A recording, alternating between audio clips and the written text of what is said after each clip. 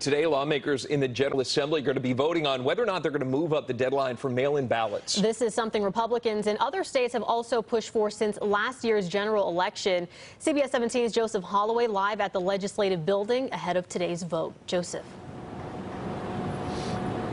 Bill, Liz, voters would have to be even more careful about when they send off their ballot, of course, if this bill passes. Now, mail-in ballots would have to be into the county election board by 5 o'clock on election day. Now, of course, there's a, there are exceptions when it comes to military and overseas voters.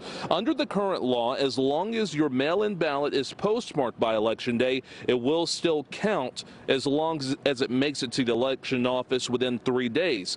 But the court, a court ruling, excuse me, last year extended that by six days.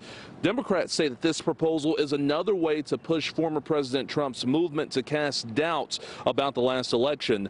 But Republicans say it's just about getting the results back quicker. Also, keep in mind, if this bill passes, Governor Cooper may veto it because he has been critical of proposals that could limit voting. That vote's going to happen during the morning Senate session, which starts at 930 right here at the Legislative Building. Live in Raleigh, Joseph Holloway, CBS 17 News.